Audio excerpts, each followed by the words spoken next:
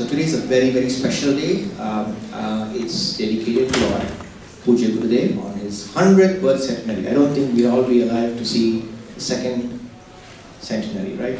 So enjoy it when it lasts. So today the Shloka class children will start the recitation of two stotrams that they have learned. They have spent the entire year learning stotrams on Gurudev and Tapovan Maharaj. So they will enchant us with their stotrams and we followed by the choir singing a couple of bhajans. So, with that I will ask the Shloka class to start the chanting with Chinmay Ashtakam and Kritagnyata. You can also join the chanting with them.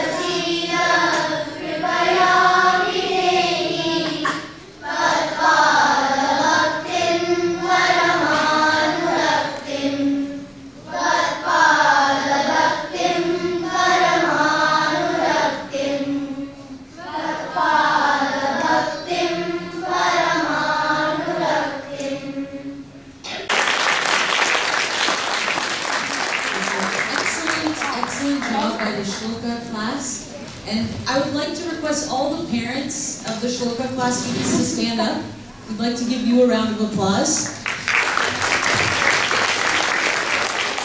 It all starts with you valuing and promoting our culture. And this is our next generation that will carry on that torch. So fantastic job.